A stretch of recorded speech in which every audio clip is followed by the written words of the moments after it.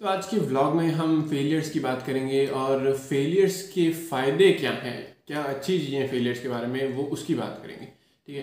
तो फेलियर को जो है वो बहुत बैड ख़राब रेपुटेशन मिली हुई है कि फेलियर एक बुरी चीज़ होती है। वो स्कूल कॉलेज से जो कोई भी फेल हो जाता है तो हम कहते हैं, अरे तो फेल हो गया। तो ये बैड रेपुटेशन स्कूल कॉलेज से बनती है और फिर आके हम उसको रियल वर्ल्ड में भी लेके चले जाते हैं अपने साथ साथ कि रियल वर्ल्ड में भी फेल होना बुरी बात होगी। पर असलियत में ऐसा है नहीं। रियल वर्ल्ड में एक तरीके से फेल होना अच्छी बात है, ठीक है?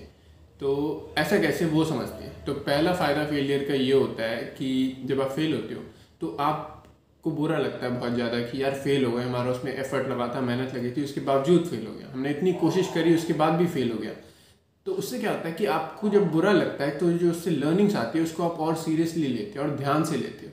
तो जब आगे बढ़ते हो और आगे कुछ और काम करते हो तो आप उन लर्निंग्स को अपने साथ लेके जाते हो और उसका बहुत फ़ायदा होता है। दूसरी चीज़ ये है कि एक बंदे ने जिसने ट्राई किया है और फेल हुआ है, वो हमेशा उस बंदे से बेहतर होगा जिसने ट्राई नहीं किया। ये कैसे मैं एग्जांपल देके समझाता हूँ। तो मान लो कि आपने एक बिज़नेस स्टार्ट करने की कोशिश की या बिज़नेस स्टार्ट किया, ठीक है? आपने दो तीन महीने बिज़नेस अपना चलाने की कोशिश करी, पर नहीं चली। नहीं चला आपका बिज़नेस वो बिज़नेस फेल हो गया, ठीक है? अब एक तो ये आप दुखी हो गए कि यार बिज़नेस चला नहीं, बुरी बात है। बट अब आप अब आप फिर से जॉब मार्केट में चले गए कि चलो अब जॉब ढूंढते हैं बिज़नेस तो चला नहीं तो जब आप जॉब मार्केट में जाते हो तो आप बाकी सारे कैंडिडेट से आगे खड़े होते हो। वो इसलिए क्योंकि आपने एक बिज़नेस चलाने की कोशिश की हुई है और उसमें आप फेल हो गए, ठीक है? तो आपके पास जो एक्सपीरियंस है दो चार महीने के लिए एक बिज़नेस को स्टार्ट करने और उसको चलाने की कोशिश करने की उससे जो एक्सपीरियंस आया है, वो इतना वैल्यूबल है कि वो शायद आपसे कोई पाँच साल ज़्यादा एक्सपीरियंस होगा आपकी फ़ील्ड में, उससे भी ज़्यादा वैल्यूबल वो एक्सपीरियंस होता है फेल होने का, ठीक है?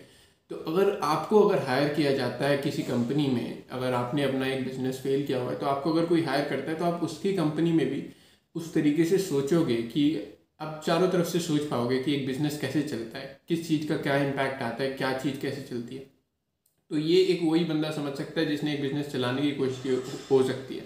एक नॉर्मल एम्प्लॉय सिर्फ़ अपनी जॉब तक ही ध्यान रखता है कि ये मेरा काम है, ये कर दिया, बस ख़त्म।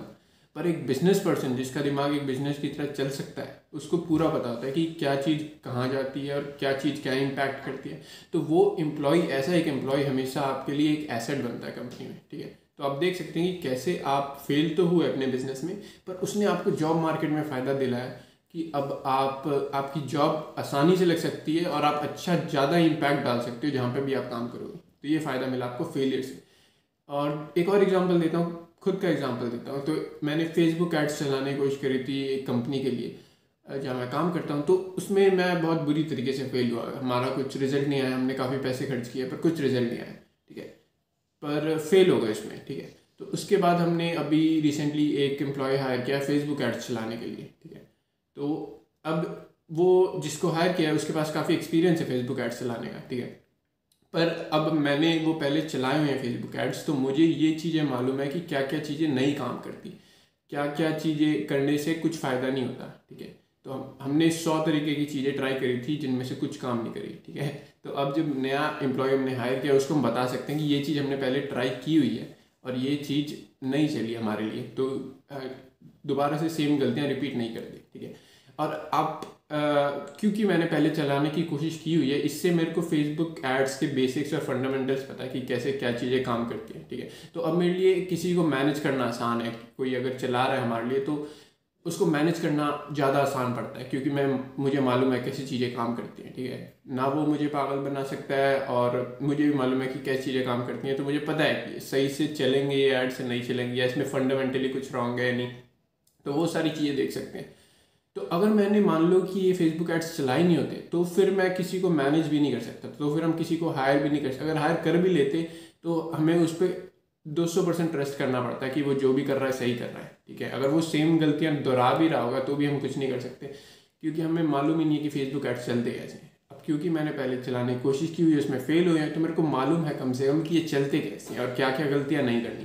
तो जो नया बंदा आया उसको हम गाइड कर सकते हैं एटलीस्ट कि कैसे चलानी है और क्या गलतियाँ दोबारा रिपीट नहीं करनी।